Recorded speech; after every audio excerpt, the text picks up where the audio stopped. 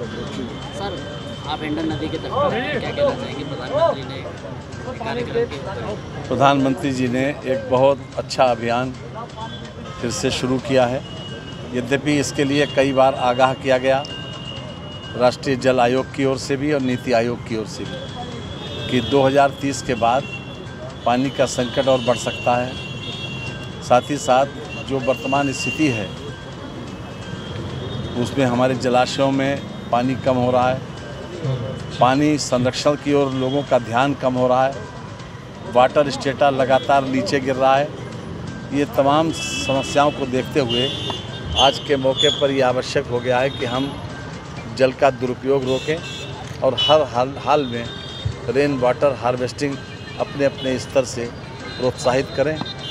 हम गाज़ियाबाद के लोगों से और यहाँ के माध्यम से पूरे प्रदेश के लोगों से हम ये कहना चाहते हैं कि जहाँ कहीं पर भी नाजायज़ तरीके से तालाबों को पाटा गया, कब्जा किया गया, उनको खाली कराकर उसमें वर्षा के पानी को संचित करने की व्यवस्था कराएँ। सर, शहर के बहुत पुराने झील आरतला झील पर करीब 510 अवैध मकान बने।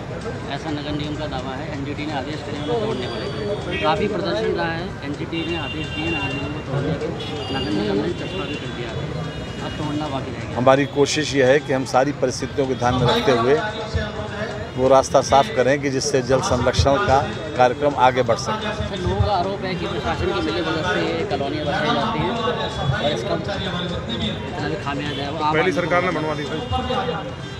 देखिए हम एक संवेदनशील सरकार के अंग हैं और संवेदनशील सरकार सारे पहलुओं पर विचार करके ही काम करती है।